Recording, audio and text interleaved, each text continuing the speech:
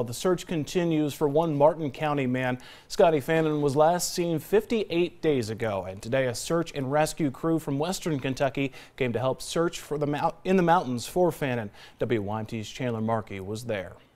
Dozens of volunteers spent the day searching through woods and up and down the mountainsides of Martin County, hoping to find any trace left of Scotty Fannin. We, we live with this every day, all during the day, all during the night. And we're just wondering and wondering where Scotty's at. This time they had a little extra help. Members of Jody Powers Search and Rescue from Western Kentucky stepped in to assist. I spent the last week uh, getting to know the area online the best you can.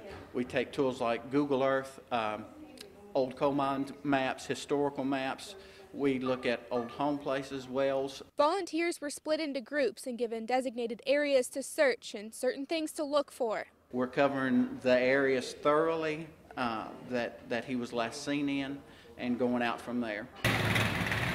Whether it's by foot, four-wheeler, or truck, they're making sure they cover as much land as possible. We're looking for closure today, and it, we're hoping it's, um, well, we know it's going to be bad if they find him after 58 days. So, but we're we uh, we're just hoping that we can find him today. Volunteers flagged anything they found suspicious for rescue squad members to come examine before continuing their search. In Martin County, Chandler Markey, WYMT Mountain News.